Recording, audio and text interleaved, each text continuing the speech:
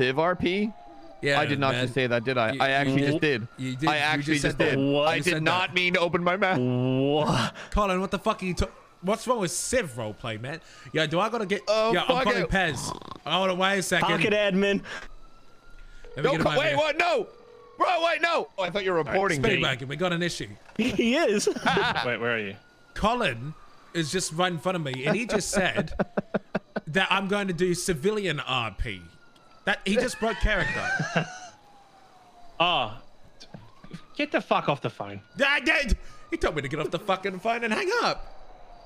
Wow, Was there an wow, it's gone right to his head. None.